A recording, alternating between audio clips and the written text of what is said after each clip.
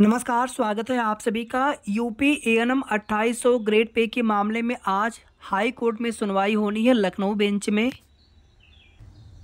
एक देखिए, एक अपडेट आई थी, आप सभी ने देखा होगा कि एमबीबीएस की पचहत्तर हज़ार सीटें और बढ़ जाएँगी।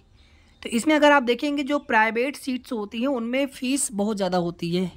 एडमिशन फ़ीस, एडमिशन कराने में ही कितना फ़ीस लग जाता है, कितना कितने पैसे लग जाते हैं। और अगर यही गवर्नमेंट सीट होती है तो उस स्थिति में थोड़े कम पैसे लगते हैं तो उस स्थिति में एम बी बी एस करना आसान हो जाता है। अगर ये, चूँकि आप सभी जानते हैं कि जो किसी फॉरेन कंट्री में कैंडिडेट से आप अभ्यर्थी चले जाते हैं, अब उसमें चाहे सीटों की अन अवेलेबिलिटी की वजह से या फिर ज़्यादा फ़ीस होने की वजह से तो इस चीज़ पर भी गवर्नमेंट का फोकस होना चाहिए कि कम से कम फ़ीस हो या फिर गवर्नमेंट सीटें बढ़ें। इसके आगे देखिए आप सभी, आठवें वेतन आयोग को लेकर के आपके कुछ कमेंट आए हुए थे। अभी सातवां वेतन आयोग की जो भी सिफारिशें थी, उसके अनुसार आप सभी को वेतन मिलते हैं। आठवां वेतन आयोग अभी बनाने को लेकर के निर्णय हुआ नहीं है डिसीज़न हुआ नहीं है सरकार ने। अभी इस पर कोई निर्णय लिया नहीं है।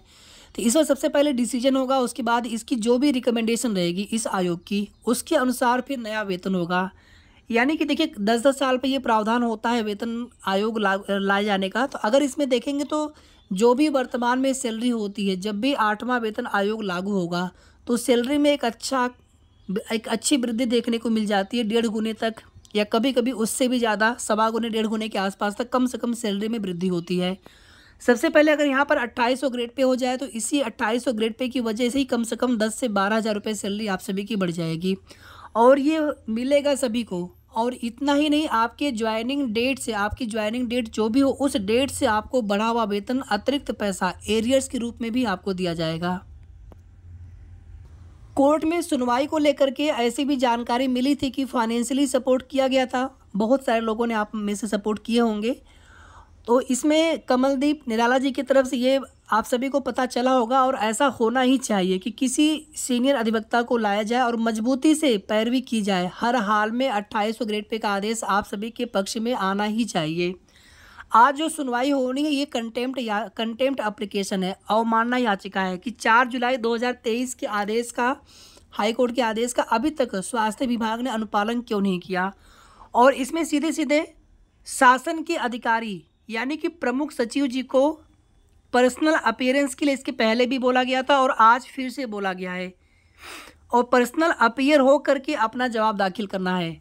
अब देखना ये होगा कि अपने एडवोकेट के बिहार पर अपना जवाब दाखिल करते हैं प्रमुख सचिव सर या फिर प्रत्यक्ष उपस्थित होते हैं। तो जो भी जैसी भी जानकारी मिलेगी आप सभी को उसकी अपडेट तुरंत देने का प्रयास करेंगे।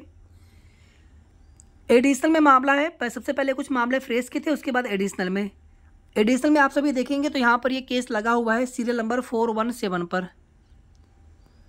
कंटेम्प्ट एप्लीकेशन है वन फोर टू थ्री आप two thousand twenty three Kamaldeep Nirala ji and twenty and others एक जो मामला है स्पेशल अपील वाला, उस पर सुनवाई पच्चीस सितंबर को होनी है। जिसमें स्वास्थ्य विभाग को, सरकार को समय दिया गया है कि आप जो भी डॉक्यूमेंट्स दे सकते हैं, देने दीजिए उसमें, क्योंकि आपके पास कोई भी ऐसा प्रॉपर तर्क नहीं है कि जिसके आधार पर आप पहले जो भी लोग हैं, उनको आप अट्ठाईस सौ ग्रेड पेपर क्यों दे रहे थे?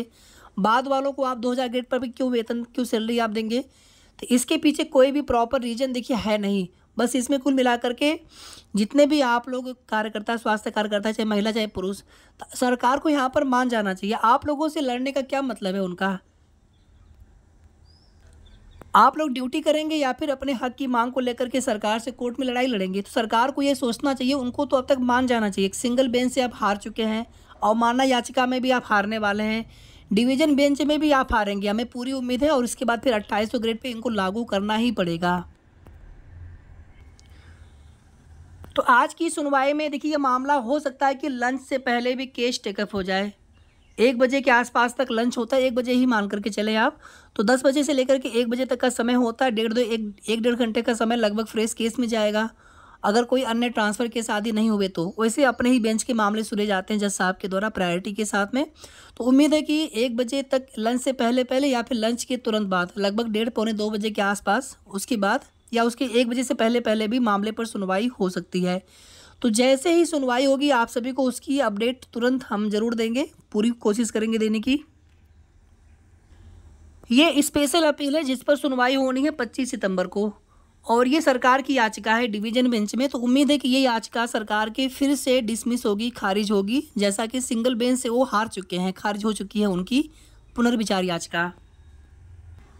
और ये केस जो आज सुना जाएगा, जिसकी कॉज लिस्ट आप सभी को दिखा रहे थे कि सीरियल नंबर चार सौ सत्रह में, चार सौ सत्रह पे और कोर्ट नंबर सत्रह में मामले पर सुनवाई होगी। पर्सनल अपीयरेंस का मतलब होता है कि मान्य न्यायालय कहीं ना कहीं सख्त हैं। कि आपने अभी तक आदेश का पालन क्यों नहीं किया? तो ये कहीं ना कहीं मान्य न्यायालय की अवमानना हो जाती है। इसके पहले इन्होंने ये बहाना दिया था कि स्पेशल अपील हमने फ़ाइल की हुई। स्पेशल अपील से क्या मतलब है? ऑलरेडी आपकी एक पुनर्विचार याचिका खारिज हो चुकी है सरकार की, स्वास्थ्य विभाग की। तो अब स्पेशल अपील अगर आपने फ़ाइल कर दी है तो इसका क्या मतलब है कि आप सिंगल बेंच के आदेश का पालन नहीं करेंगे? तो इसी को लेकर के मान्य न्यायालय की तरफ़ से आज जवाब मांगा गया था, जिस पर प्रमुख सचिव सर को पर्सनल अपियर होकर के या फिर पर्सनल अपियरेंस के अपने एडवोकेट की भी बिहार पर किस प्रकार से देखिए क्या जवाब दाखिल करते हैं? और अगर सब कुछ ठीक रहा तो आप सभी के लिए अट्ठाईस ग्रेड पे का आदेश इसी वर्ष में देखने को मिल सकता है। बाकी हमारी पूरी शुभकामनाएँ आप सभी के लिए कि आप सभी का संघर्ष, आप सभी सफल आप सभी का संघर्ष निश्चित रूप से सफल हो। तो आज की हाई कोर्ट सुनवाई की जो भी जैसे भी अपडेट होगी, आप सभी को नेक्स्ट वीडियो के माध्यम से जानकारी देने का प्रयास करेंगे। तब तक आप सभी अपना ख्याल रखें। वीडियो को आप लोग प्लीज़ लाइक शेयर कर दिया करें। और अगर आपने अभी तक चैनल को सब्सक्राइब ना किया हो तो कर लीजिएगा। धन्यवाद।